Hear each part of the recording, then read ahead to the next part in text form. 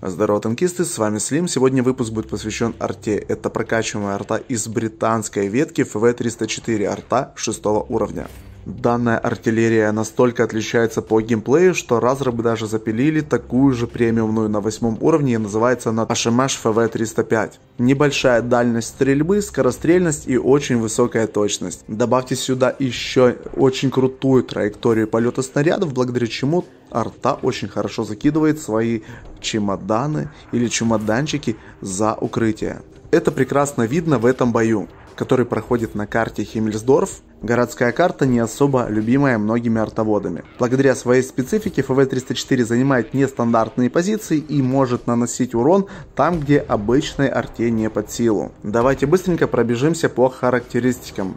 Данная арта является достаточно быстрой, максимальная скорость вперед 72,4 км в час, максималка назад 14 км в час. Данная арта является достаточно компактной, имеет хорошую маскировку, а обзор получила в 310 метров, запас прочности в 530 единиц что позволит вам от одноуровневой техники сдержать пару выстрелов, ну а от восьмерки как минимум одну тычку, за исключением, когда это будет делать восьмерки с высокой альфой. Как и у любой прокачиваемой техники, вам надо будет вывести ее в топ. Особенность топовой пушки в том, что у нее дальность стрельбы меньше, но при этом более высокий разовый урон и пробитие. Пробой 57 мм, альфа 340. Для сравнения, у стоковой пушки пробитие было всего лишь 44 мм, а альфа 280. На самом деле такие характеристики у этой арты были не всегда. Я думаю, вы помните пресловутый нерв, который превратился немного в ап артиллерии. Он зацепил и эту арту, хотя, как по мне, ее трогать не стоило. Наша среднеуровневая арта получила снижение урона в 20 чем-то процентов.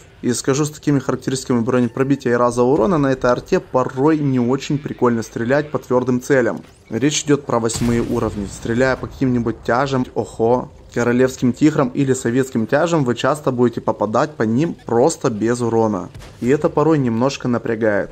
Во всех остальных случаях какой-либо урон вы будете наносить, но к сожалению он будет весьма невысоким. А свою пресловутую альфу в 340 единиц вы сможете увидеть по картону и то при условии, что снаряд залетит куда надо и вашего бронепробития хватит.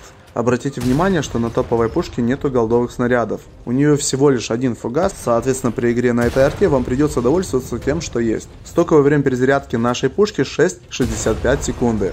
Но это стоковый показатель. Обязательно устанавливаем на арту орудийный досылатель и улучшенную вентиляцию, дабы снизить нашу перезарядку и повысить ДПМ. Совмещаем все это с доп-пайком и перками экипажа быстрая перезарядка и прирожденный лидер.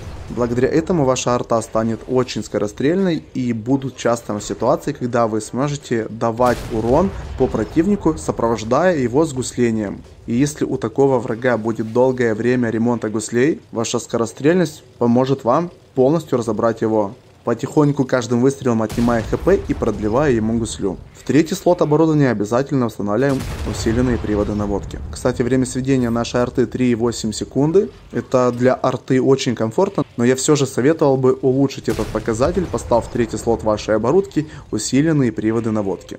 Военной нашего танка минус полтора плюс 46. В целом угол склонения минус полтора вам особо и не нужен вы как бы артиллерия, и даже если вам придется совершать выстрел вплотную, вы достаточно невысокий танк, и особо большого угла склонения вам не надо. А вот такой угол возвышения достаточно полезен, учитывая вашу траекторию полета снарядов. Констатирую тот факт, что на данный момент ФВ-304 это просто прокачиваемая арта, которую стоит пройти и забыть. Да, она имеет необычный геймплей, она по-своему достаточно фанова. Но, как по мне, в глобальном ребалансе 304 и тем более 305 арту, которая является премиумной артой 8 уровня, трогать не стоило. Они никогда не отгружали какие-то глобальные большие чемоданы, они не были проблематичными. Да, их скорострельность порой накаляла, но тем не менее в рандоме эти арты никогда очень много урона не наносили. Разве что исключением являются определенные артоводы в определенных боях. На данный момент, если брать ветку британской арты,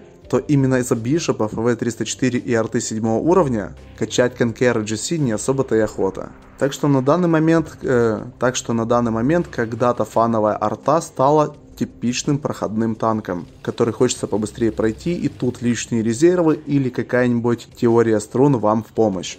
Народ, а у меня на этом все. Не забывайте подписываться на канал и прожимайте лайки под видосом. Пишите в комментариях, довольны ли вы нерфом перебалансом арты. Желаю всем удачи в рандоме. До новых встреч. Пока.